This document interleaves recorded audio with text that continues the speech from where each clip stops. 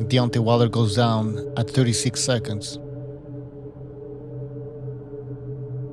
11 seconds later, Kenny Bayless is counting 8 seconds. Was the fix in? Was Kenny Bayless protecting Deontay Wilder? Was the fix in?